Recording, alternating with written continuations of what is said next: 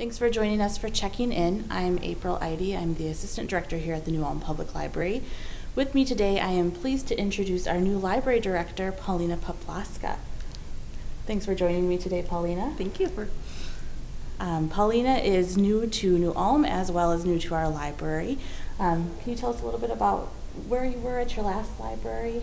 Uh, sure. Um, previously, I was the um, branch manager at the Capital Area District Libraries in Lansing, Michigan.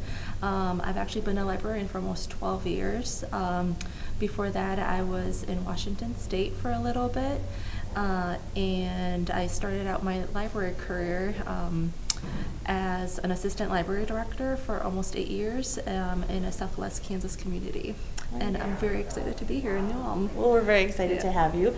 Got a lot of experience that you can add to our library here, Mhm. and we're excited to get to know you and get to have our community to get to know you as well.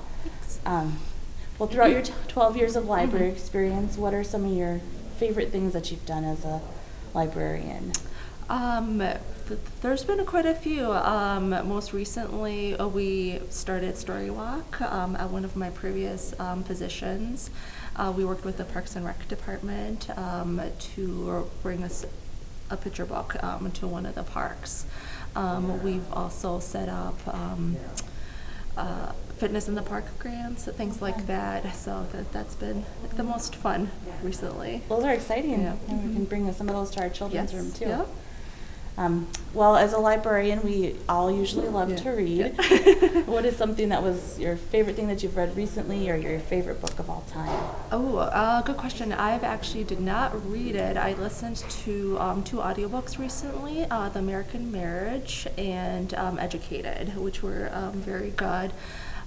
Favorite book of all time? Um, I would probably say The Coffee Trader by David Liss. I read it, uh, well, I don't know, maybe almost, I don't know when it came out, maybe early 2000s, something like that. But it's a little bit of a mystery, um, little romance, and it's about coffee. oh, fun! Are you a coffee drinker? Of course, yeah. Um, I haven't read that one, so Yeah. I'll have Oh, to check it out.